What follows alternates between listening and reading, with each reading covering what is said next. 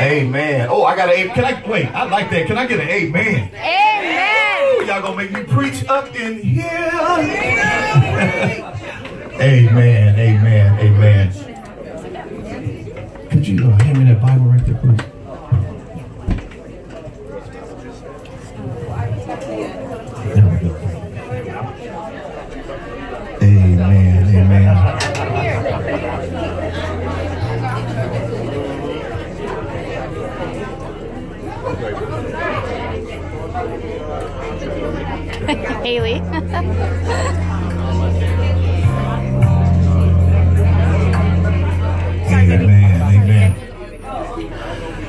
Good evening. I mean, good afternoon again, family. Am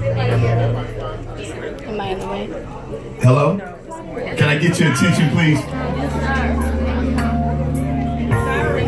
Turn, yeah, turn this down. Thank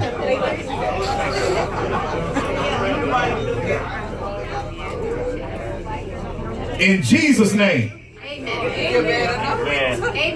I can't use my name. In Jesus' name. Amen. Amen. Amen. We're all here to celebrate the life of Patricia Laws. And, and did our captain do a great job of saying how how we're not here for a a go away, we're here for a celebration. Um, I'm gonna read a couple scriptures here in the beginning. If you look at your at your at your program, we're gonna begin a little different. I'm gonna do the scripture and the prayer first, and then we're gonna move forward into the program and ask God's will to be done here today. Amen. If if you do have a Bible, if you don't, I'm gonna read it for you today. I want to share a scripture today of why we're really here. In Second Corinthians chapter 5, verse 6, it says, So we are always confident, knowing that while we are at home in the body, we are absent from the Lord. For we walk by faith, not by sight. We are confident. Ooh, yes.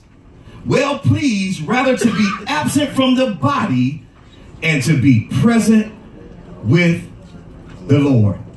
Now, for someone says, well, what did you mean by that? The Bible, the Bible says that to be absent from the Lord means that you're in your body. And if anybody knows here that if you're a follower or you're trying to go to another level, it's not a physical walk, it's a spiritual walk. You don't have to go to a building church, you don't have to do certain religious things, but you must develop a spiritual relationship with the Most High. And I know that to now celebrate life of absent of body means that if when I leave my body, I am no longer if you didn't know this, you you you won't be judged when you pass on. You you won't go here or go there. It says to be present with the Lord means you'll be in a in a place that is honorable and glorified by the Spirit of God. We'll all be judged on the same day. he gonna judge me for my marriage just like he's gonna judge you for your marriage.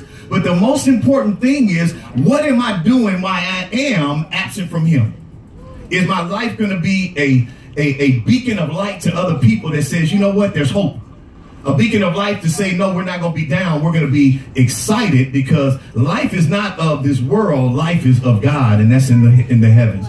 The Bible says in, in, in Colossians chapter 3, it says, if you have been raised with Christ, no longer seek those things which are on earth, but which are on heaven, where Christ is seated at the right hand of God. A lot of people are having a celebration of resurrection, but I'm, I'm celebrating my resurrection because Jesus is alive.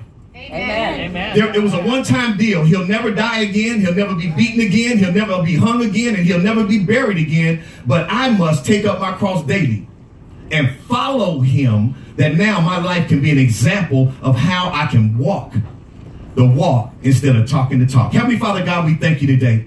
Amen. We thank you for your spirit, Lord. We thank you for your love. We thank you for your anointing right now over the Laws family, Lord. That as we, each one of us here, sacrifice a bit of energy to give back, a bit of love to give back for all of the hard labor and all of the care that has been put into this ceremony. So, Lord, we thank you today. We thank you that no longer is it by power or by might, but by your spirit right now, we celebrate you. We give you all the honor, all the glory, all the praise, and all in agreement said, Amen. Next, we bring to you Mr. Mark Allen Felton.